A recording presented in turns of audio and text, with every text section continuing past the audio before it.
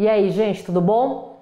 Você vai instalar aí uma aranha nova no seu garfo novo. É um garfo com a espiga que não é de carbono, tá? É importante não ser de carbono, gente. Porque aí a aranha é diferente. Bom, mas chegou a sua caixa de direção, chegou o seu garfo novo e você não tem aquela ferramenta que é para instalar a caixa de direção, né? É normal as pessoas não terem porque é uma ferramenta muito específica da oficina, né?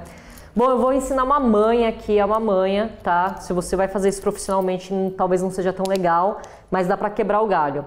Aqui tá a aranha, né? E a tampa da caixa de direção que vem normalmente quando você compra tudo.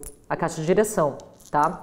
Você vai pegar a tampa, tá? Você vai inverter ela, pegar o parafuso tipo da aranha. Se você tiver um usado seria melhor porque você vai dar uma estragada nele. Aí você vai rosquear aqui o parafuso com a tampa invertida na aranha, tá? Por quê? A gente vai usar essa aranha mesmo para bater aqui, ó. Então a gente vai usar o parafuso próprio da aranha e a tampa invertida para isso. E aí eu vou o quê? Sentar a marreta, tá? Cuidado com a mão, tá, galera? Porque não é de qualquer jeito. Por que, que eu estou usando a tampa também? Porque é importante, a aranha ela tem que ficar certinha aqui dentro do, da espiga, tá bom? Se ela estiver torta, você vai ter um problema. Então aqui, ó,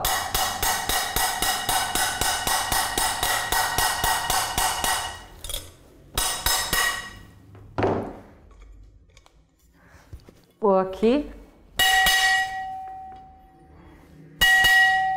Você precisa fazer realmente uma, um esforço para a aranha não ficar torta lá dentro, porque se ela entrar torta, gente, dá para você depois alinhar assim, rola isso, porque senão o parafuso ele vai ficar tipo entrando torto, e se ele entrar torto, a tampa vai ficar meio tortinha, mas é, ó, vocês pegaram a manha?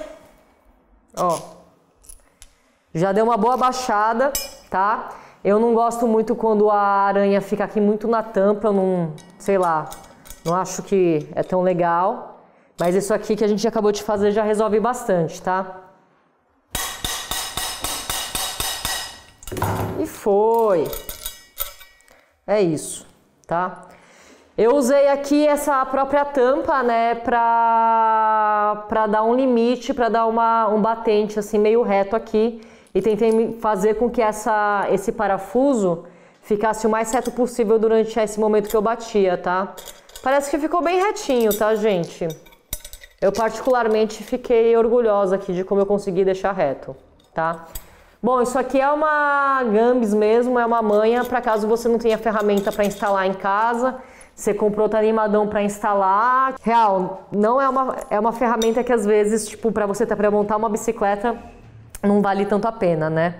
E é isso aí, galera. Gostou dessa dica aqui? Dá uma curtida. Tá gostando dos nossos vídeos, tutoriais, entrevistas? É só se inscrever no nosso canal. Toda sexta-feira a gente sobe um vídeo novo para vocês. E quem puder, ó, além de se inscrever, segue a gente ali no Instagram, no TikTok, arroba chave15. Manda um beijo pro Dudu, um beijo pra Gabi, engaja aí, fala o que você achou dessa minha dica. Você é a favor ou contra a gambiarra.